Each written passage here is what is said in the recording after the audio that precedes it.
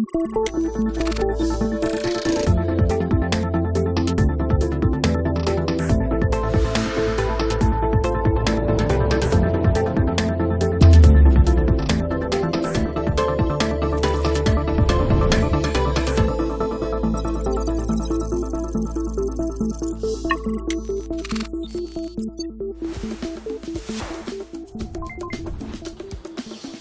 Ta-chan.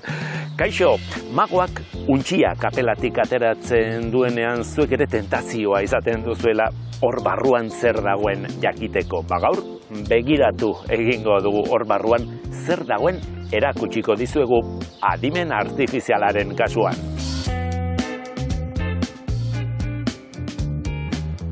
Adimen artifiziala ez da magia, zientzia eta teknologia da, baina magiak bezala hau zabalik utzi gaitu azken hilabeteetan eta ez behin bakarrik. Not dago trukoa, gaur magia agerian ustea da asmoa. Has gaitezen!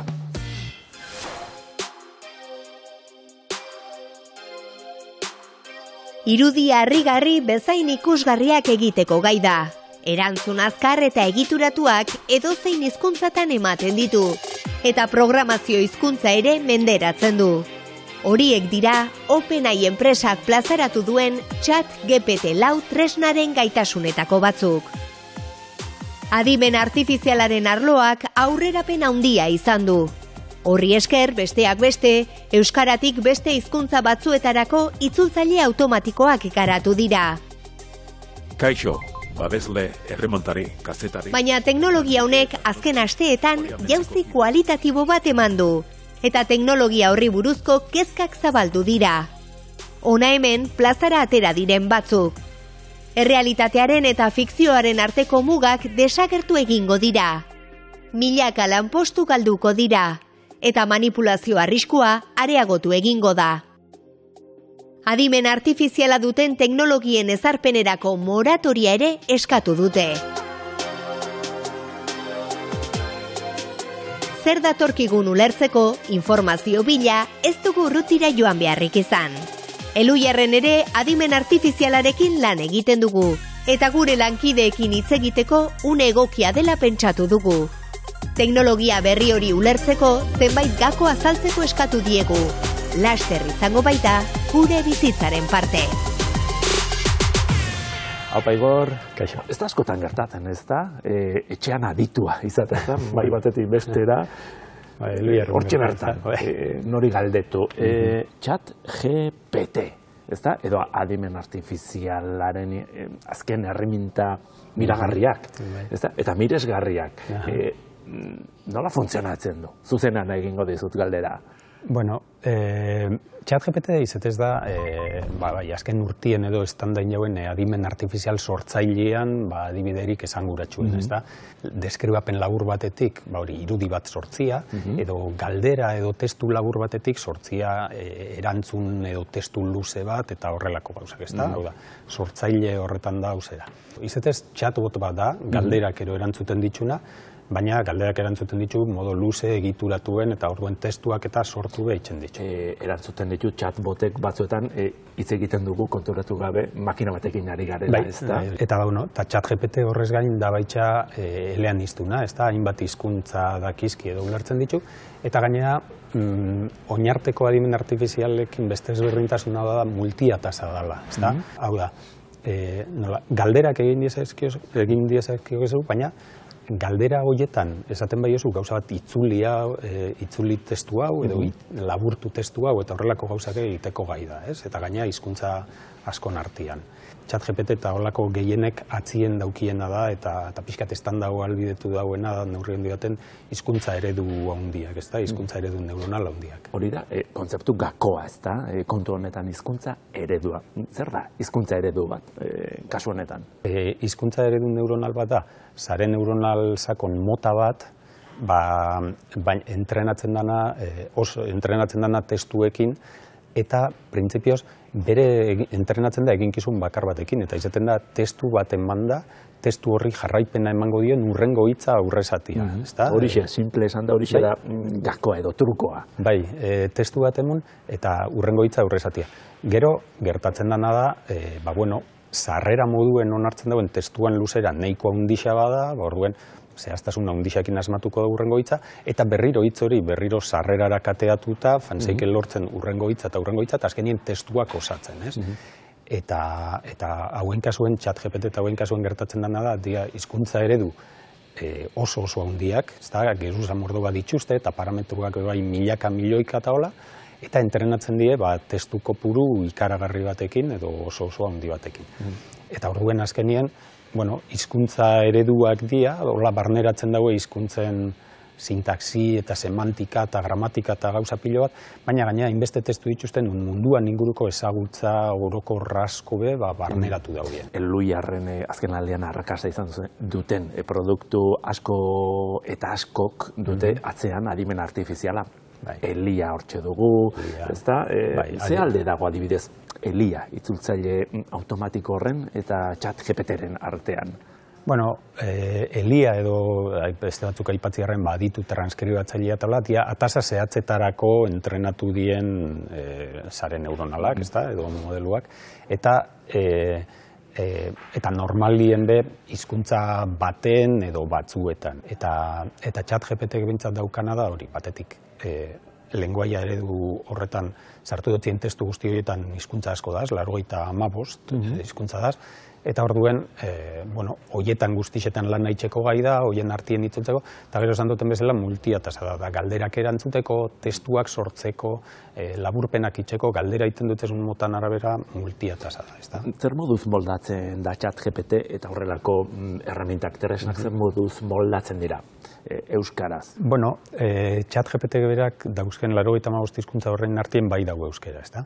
Eta beste hizkuntza batzuk, bai, bueno, baina jakina ez da proportzio berdinien danak, ezta? E, e, batez be, testu gehienak, entrenatzeko erabili dien testu gehienak ingelesez daz, eta gero beste, laro, beste hizkuntza handi batzuetan be, bat testu asko ikiko ditu, eta euskera bai badau barne, baina oso oso gutxi datuak guztiz ezaunak ez badie be, oso oso, oso, oso txikia, eguneko batetik oso, oso bera, ezta? Eta alatabe, e, nahiko emaitza onak lortzen ditu, ezta? E, ez, e, bueno, azken finien, holako, e, sare neuronal erraldoi eta elean iztun honek daukien beste ezaugarri bada, nolabait, e, hain handiak di eta hainbeste hizkuntzan art, e, hizkuntzekin entrenatu die, nolabait hizkuntzen egiturak, ez, ez hizkuntza bakarra baizik, eta hizkuntzen egiturak nolabait barneratzen dituzte, eta hizkuntza berri bat sartzen dute zunien, nahiko adibide gutxikin be, mm, bueno, e, nahiko ondo moldatzeko Ika- gaibe izeten. ikasi egiten dute. Baliatzen da nolabait e, beste hizkuntza guztien ezagutza. Ez da oso argi nola funtzionatzen dauen, baina benetan harrigarria da, ba, ba bai, datu nahiko gutxikin euskeraz nahiko ondo moldatzen da bai. Azken galdera, e, tresna hauek gelditzeko etorriko di. Etorri dira, ez da? Bai, nik uste dut etorri dela gelditzeko ikusi besteik ez da nolako eragin auki dauen gizartien, nolako ilusinoz eta zer hartu dauen jente danak, ez da, beste, ez da, ez da beste entzuten inguruen eta eta, eta bai, eta ekarreko daue aldaketa eta eragin handia, ez da, horre ez nazgai aurre ikusten. Bai entzuten da, e, chat GPT-kin eta e, etor, etorri da azalera beste eztabaida bat adimen artifizial orokorran e, zera, ez da? E, e, aukera edo eta eta bate baino gehiago izan dago hori dela inbiedana eta horreta jo bier duela bere arriskuak daukena.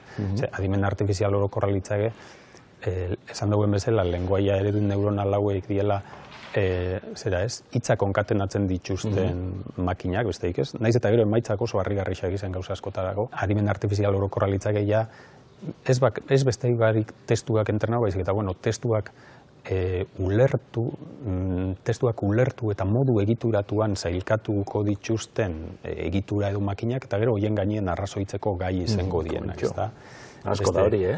Bai, e, baina bueno, mm, bai, oinarte oso gutxi landudan zera bat, baina beste honekin oinazken aldian pues, asko entzun da bai OpenAI-kuei eta bai beste e, Google iatzo bertan eta beste batzui, eta bueno, ez dakit hortik be zete dien joango etorkizunien. Hori irteten denean zure galdetuko dizut. Berriz ere, maitik maira, egingo dute bidaia. Eskerrik asko. Bueno, zeuei.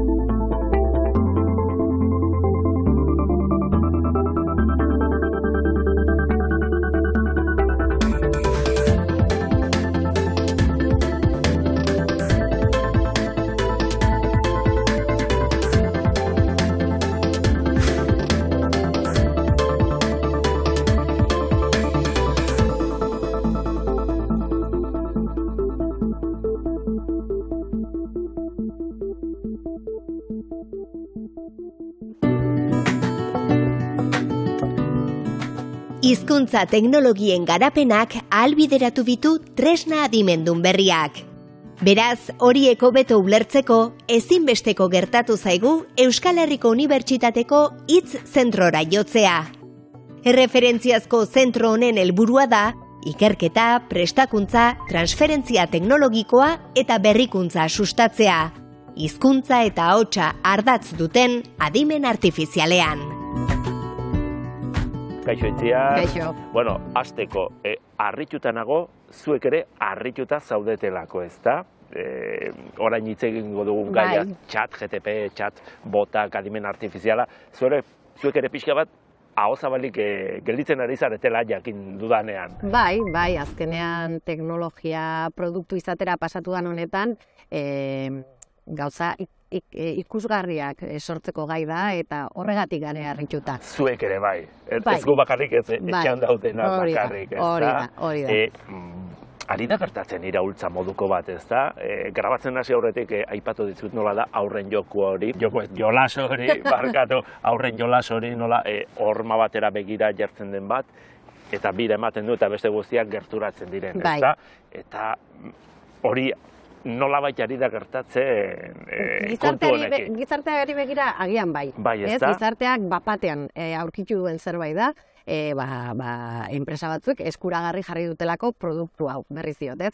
Baina gurean, hizkuntza teknologietan, iraultza hau azken hamarkadan, hamar urteetan ematen ari da zerbait izan Beraz ez da bai. sorpresa izan, zuentzat harrituta egon da ere. Hori da, hori da, prozesu bat izan da. Bai, orain dela hamar urte gutxi gora bera, e, saren neuronarak hasi ziren gurean erabiltzen, ba, alde batetik e, konputazio ahalmena e, azaldu zelako, bai, badauzkegulako orain makikenak oso potenteak, non e, eragiketa matematikoak egiteko gaitasuna duten. Mhm, potentzia. Modu, hori da, modu azkar batean, eta gero e, e, horrelako sistementzat e, beharrezkoa dan datu ikurri hori, ez? E, datu pila, pila, pila, pila, baino pila bat esatenen da pila Asko, bat. asko, asko. Internet guztia imaginatu, bai? Aha. Munduan dauden testu guztiak, e, xulgatzeko gai izan da, eta hor- hori- horietatik e, e, ba, ikasi do, nola errepresentatu e, hitzen arteko erlazioak, e, hizkuntza nola bai, Aha. eta horietatik e, abiatuta ba, sortzekoa. Eta iritsi gea prozesu horretan, ez, ba, hizkuntza ereduak sortzetik, errepresentazio horretatik, baina txap GPT moduko produktuetara. Magia egin behar dugu orain, ezta? Edo gutxienez, e, teknologia hau gai egiteko den adibide batzuk erakutsi. Saiatuko, behar. Hau zabalik ea usten nauzun. A ber, ba, ba, adibidez, eskatuko diogu eh, honi, GPT lauri, eh, lan eskaintza bat sortzeko, ez? Mhm. Zuk sortu beharrean, ba, zure enpresako lan eskaintza bat, ba, eskatuko diogu eh, euskeraz, eh, Enpresa baten robot idazkaria zara zarean bilaketarik egin gabe, lan eskaintza bat sortu. e, eta hau eskatuko diot. Ea ze egiten duen, eh? Eta hau euskeraz, euskeraz eh, egiten duen. Uh E, momentu honetan eskatzen denez, horako e, orokorra izan dadin. Ez dut nahi zehaztasunik sartzea. Ingeniari bat behar dugu, adibidez. Hori da. Baldintzak eh, asmatzen ditu, eta eskatzen dio pixka bat erakargarria egiteko. Mhm. Eta ikusten duzu, ba, iaia momentuan, ba, Eta asmatzen ari da. bai, bai, asmatzen ari da, eta, bueno, euskera. Euskeraz, ba, ondo hitz egiten duela. Mhm. Adibide gehiago. A ber, zer gehiago jarri ezakatu? Ikusgarriak behar ditugu. Irudi, irudien sorkuntza ekintzen ze probatzen. Bai, hori ere, Ba. gauz- gauza bitxiak ari gara ikusten, ez? Bai. Zer eskatuko diogu? Eskatuko diogu margolan bat egin dezan. Zeinen estiloan, nahi dugu margolan bat. Mm, Miro. Miro, venga, eskatuko diogu.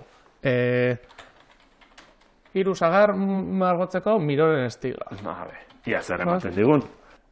Eta hemen sortzen ditu adibidez. Horretxa, Bueno, sagarrak hiru, beti ez dira hiru, batzutan hiru dira, Aha. beste batzutan lau, beste bost. Bai, bueno, baina badu ikutu bat, ez? Bai, badu. Artistikoa, Joan Miroren eh, estiloa eh, imitatzen saiatzen da. bai, Gauza asko egiteko gai da, ez da? E, bai, bai, eta gainera txap GPTek oraindik ere e, pausu bat gehiago eman do, no, ingelesez esaten den reinforcement learning e, teknika aplikatu zaio. Zer Aha. esan nahi du honek? E, eman da GPT iruren e, emaitza Mhm. pertsonei. Bai, eta galdetu zaie, hau ondo dago? Hau zuk horrela esango zenuke? Bai, Aha. ez, bai, ez. Gordon, Entrenatu eginda nola bait. beste modelo moduko bat jarri zaio, nun erakusten zaio modu naturalean edo edo pertsonon e, lehentasunak zeintzuk izango zien. Mhm. Bai, orduan, biak uztartuz, lortu dugu horrelako sistema, o lortu danik, ez da lortu evidentemente, horrelako sistema e, ahalmentsu bat. Bururatu zait, adibidez, e, irakasleek ere beharko dutela erremintaren bat, ikasleek e, chat GTP erabili ote duten e, bereizteko. Existitzen da horrelakorik, eta galdera litzateke, e, nola jakin, e-mail bat, edo, edo zein e, emaitza, e, gizakia sortua den, ala adimen artifizialak sortua den. Benetan nahi du jakin e-mail bat makina batek edo pertsona batek sortua dan, gehiago ulertu dezake eta agian ikaslei begira. Baina bueno, guazen erakuste ikaslei zer dien sistema hauek, zertarako balio duten, eta hau- agian ber planteatu behar dugu e, nola ebalatu gure ikasleak, eta nola erakutsi tresna hauek modu e, eraginkor batean erabiltzen da, beraien ikasketa prozesuan lagunde, laguntzeko, ez da? Ados. Orduan, bueno. Erreminta baliagarriak izan Bai, ditezkela bai. Hala ere, badu honek ez egite alderdi ilun bat ez dakit, baina arazoak edo galderak Bai. planteatzen ditu, ez da? Hor badago, e, agian polemika sortzen ari den beste kontu bada, e, internet guztiare bai, e, bere gain, e, ez, xurgatu duenez eta eta representatzen duenez nola bai, e, alborapenak bai sortzen dira. Hori Bai, hori bai, zuk, zuk segun e, zer galdetzen diozun sistemari, bueno, ba, joera bat izango du. Zergatik, interneten joera bat ere badagoelako. Mhm. Bukatzeko, eh, bi galdera. Bai. Alde batetik, eh, gustatu zait, galdetu didazula, hau noiz emango da, ez? Bai. E, e, zergatik, ba, behar bada aldatu egin delako, Bai. txat GTP bost irten delako, eta hau, abiada bizian Mm. dagoelako, ez da? Bai. Doalako, ez da? Bai, bai, Ez, bai. eh, alaxe da, ez? Halaxe da. hau, geldiezina da. Ematen du bai, ez, behintzat e, hor dago eta ematen du gelditzeko e, etorri dala. Eta, eta noski, e, produktu daien momentutik eta interes batzuk daren momentutik, e, industrialdetik esan nahi dut, bueno, ba, garapen bat egiten jarraituko dala nahiko argi da. E, hor daude irudiak berriz ere, hor dago ahotsa ikusi nola, ez, erabili den aurrelako sistemetan. Bai, be, nik, nik ez dakit esaten ze. Baina ze- ze gelditzeko etorri da. dela, bai, eh, garbi izan behar dugu, ni ez da? hala Eta oitu behar dugu, eta erabili behar dugu, zentzuz. Bai, eta eske e, erabiltzen ari gara. Ordu nik uste ez, badala adierazgarria gelditzeko etorri dal zerbaiten adierazgarria bada nolabait. Bai. Mundu berri baten atarian gaude. bai, ez berdi, bai, bai, hori da, bai. Baina ez daukena zertan txarra izan bai. Oso ondo itziar, eskerrik asko. Zuri.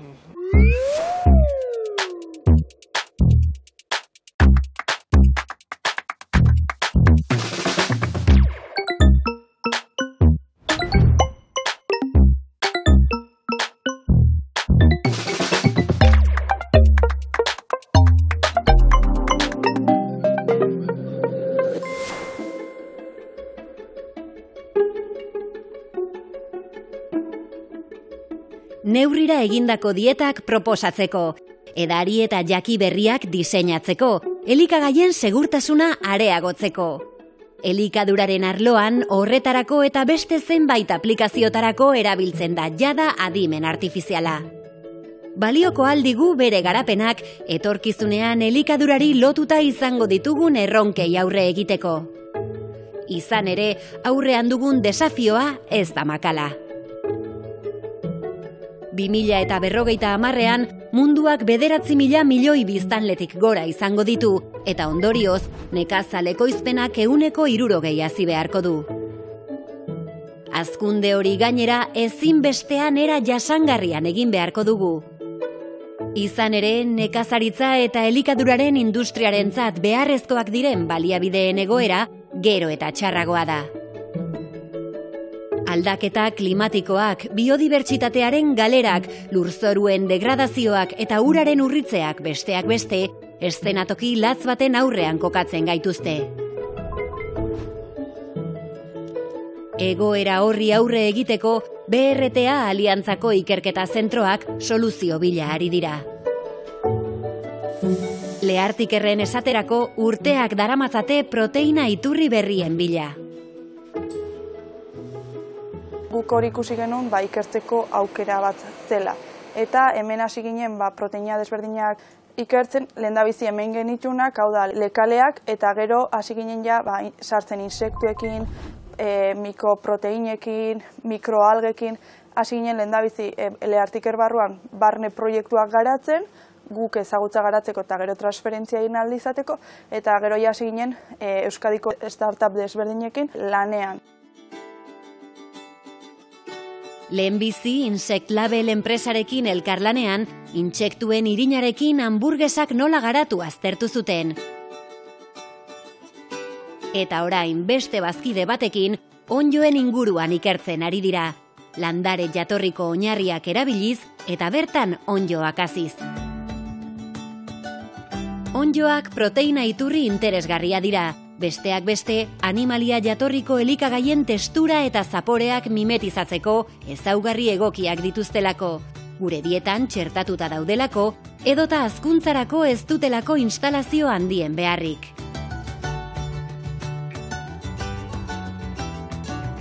Baina onjoek desabantailak ere badituzte. Esaterako kompetentzia gaitasuna. Beste mikroorganismo batzuk ukitutakoan, zenbait onjok azteari uzten diote edo zuzenean hil egiten dira. Hori ekiditeko modu bat, egoera oso kontrolatuan ekoiztea da, ezaugarri oso zehatzak dituzten laborategietan. Baina eskala handiko produkzio bat ibegira, elikaduraren industrian ez litzateke posible izango horrelako ekipoak edo inguruneak topatzea. Hala, lehartik erreko ikertzaileak, pilotu mailan eta egoera ezain ideal batean onjoetan oinarritutako produktuak ekoizteko aukerak ikertzen ari dira. Gure planta pilotuan industria baten egon daiteken egoera simulatu dezakegu. Horrek zer esan nahi du, ez dela egoera hain kontrolatu bat eta hori ikusi daiteke ea beste e, mikroorganismoekin nola konportatzen den edo nola egokitzen den, eta ea kontaminazioak egon daitezke etorkizunean edo ez, eta ekipo handiago batzuekin nola ekoiztu daitezken horrelako prototipoak onjoak erabilita. Baina elikadura jasangarri bat izan nahi badugu, ekoizten dugunaz gain ekoizteko moduari ere erreparatu behar diogu. Aztin horretan ari dira. Elikagaien industriako enpresek euren ingurumen aztarna ezagutu eta murrizten laguntzeko erreminta bat sortu dute.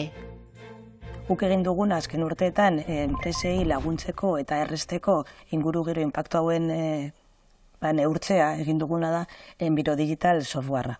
Software horrek azken finean egiten duena da elikagai baten bizi ziklo osoan zehar dauden etapa guztien ba, kontsumoak eta ondakinak eta bar hori dana neurtzen dugu eta inguru gero impactuan transformatzen dugu. Enpresek euren jarduerari buruzko datuak sartu behar dituzte softwarean. Erabiltzen dituzten lehen gaietatik hasita, azken kontsumora arte ematen diren pausoei buruzko informazioa. Elikagaiak prozesatzerakoan xautzen den energia, zer produktu kimiko erabiltzen diren, distribuzioan kamioiek egiten dituzten kilometroak, ontzien ezaugarriak eta abar. Behin datuak sartuta, softwareak metodologia estandar bat erabiliz, produktuak ingurumenean dituen amasei impactu aztertzen ditu.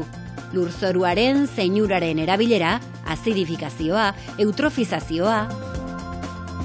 Eta horrekin batera, produktuen jasangarritasun mailaren berri era simple batean emateko, softwareak enbairo eskoreren eskalan elikagai bakoitza zein kategoriatan dagoen adierazten du. Bireskor zertifikatu hau aztik garatu zuen orain dela bi urte, eta amasei impactu horrek batzeko erabat da. Batzeko eta kategorizatzeko ez, ze askotan enpresak ez dakit baldin baukazu, amar kilogramo karbono ekibalente eh, ez dakiz hori asko da, nara gutxi edo zeu zer egin dezakezun gutxitzeko, ez. Eta guk, enbiroskor honekin esaten duguna da, zure impactua oso basua, basua, ertaina, antua edo oso altua da.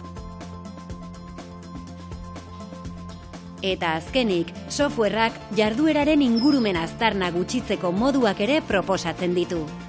Esaterako, garagardo ekoizle bati bere inpaktuaren fokoa ondakinetan zegoela ikusirik, horiei balio berri bat emateko iradokizion, eta aztik hori gauzatzeko modua topatu du. Ondakinekin akuikulturako pentsuak egin dituzte, eta horrela, garagardo horren ingurumen aztarna enbairo eskor eskalan maila bat jeistea lortu dute.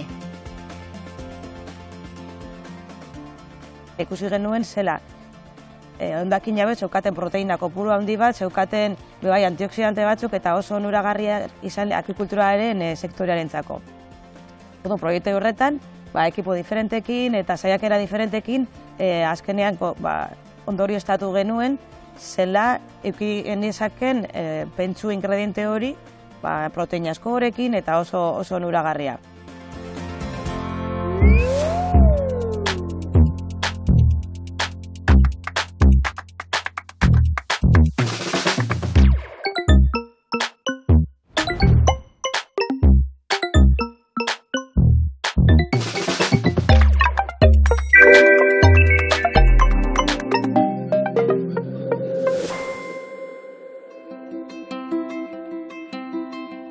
Lurzoruen baitan dago beraz gure elikadura. Aldiz, ikerketen arabera ez ditugu ondo zaintzen. Europako lurzoruen euneko irurogei irurogei tamar ez dago osasun egoera honean. Honen atzean e, jarri dituzten arrazoi nagusiak dira biodibertsitate galera eta baita karbonoaren galera. Ba, hori garrantzitsua da, ze karbonoa materia organikoa da lurzoru baten fertilitatearen indikatzaile nagusia eta baita klima aldaketari begira ba, oso papel garrantzitsua daukate lurzoruek karbonoa meta dezaketelako eta horren galera bat gertatzen ari dela ikusi dute. 2000 eta berrogeita amarrerako lurzoruen osasuna hobetzeko hainbat helburu ezarri dira. Adibidez, pestizideen erabilera euneko berrogeita amar jaistea edo nekazaritza ekologikoa euneko hogeita bostaztea. Lurren kudeak eta hobetzeko lehenengo pausoa ordea, horien egoera ongi ezagutzea da. Neikerren horretarako ospitale moduko bat daukate, non lurzoru laginak aztertzen dituzten, hainbat parametro fisiko-kimiko eta biologiko neurtuz. Gure taldean zentratzen gara parametro biologikoetan. E, esan dugulen, e, lurzoruak oso biodibertsioa direla, bai e, begibistaz ikusten ditugun txinurria, zizareak, e, masmak, edo ja txikitxoagoa diren nematodoak aro rotiferoak, baina eina handi batean luzoruen biodibertsitatea mikrobianoa da. Bertan bizi diren onjo eta bakterioek burutzen dute beraien funtzioen euneko larogei edo larogei eta amarra. Eta guk beraiei galdetzen diegu nola bizi diren lurzoruan. Zenbat dauden, zein aktivitate maila daukaten, eta baita beraien biodibertsitatea. Behin diagnostikoa ezagututa, urrengo pausoa osasuna hobetzeko praktikak identifikatzea da. Neikerreko ikertzaileak helburu hori duen proiektu batean parte hartzen ari dira. Egipton, Espainian, Frantzian, Italian, Marokon, Portugalen eta Tunisian labore desberdinetan hainbat nekazal praktika testatzen dituzte eta ondoren neikerren horien lurzoru laginak aztertzen dituzte. Adibidez, e, hauek dira Tunisiatik ekarri ditugun e, lagin batzuk, non olibondo landaketetan e, behekaldean landatzen dituzten espezie aromatiko desberdinak. Eta ba, gure ba, hipotesia litzateke e, landare di mailan biodibertsitatea handituz gero, lurzoru mailan ere biodibertsitate hori handituko dala, ba, azkenean sustraien arkitektura desberdinagatik, ba, nitxo desberdinak sortuko direlako, bertako bizinuentzako, eta baita bakoitzak exudatzen dituen konposatua desberdina direlako, eta horrek ba, aberastasunek harriko diola e, lusoruari eta baita bueno, nekazariari ere. Beste hainbat nekazal praktikek biodibertsitatean duten eragina ere aztertzen ari dira. Medeapen organikoak, bioinokulazioak, laboreen txandaketak, Hori guztia lurzoruaren osasuna hobetzeko asmoz eta etorkizunean elikadura osasuntxu eta jasangarri bat izan dezagun.